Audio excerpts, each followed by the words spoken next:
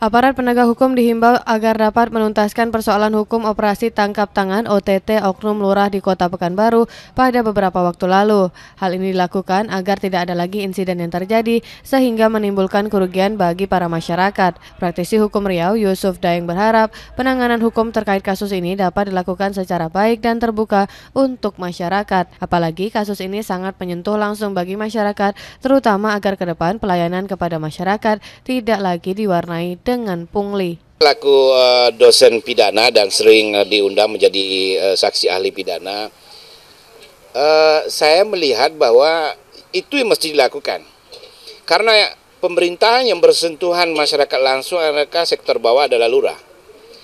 Sebenarnya kalau kita uh, mau terbuka banyak sekali yang perlu di OTT misalnya kecil-kecil ya. Karena yang kecil ini yang akses yang langsung bersentuhan dengan masyarakat.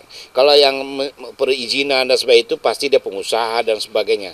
Jadi kalau kita melihat bahwa OTT ini eh, saya kira kita mensupport kejaksaan maupun kepolisian tim-tim saber ini untuk berinteraksi Pemko Pekanbaru diharapkan dapat melakukan evaluasi terhadap jajaran dan bawahannya agar kasus yang sama tidak terulang kembali.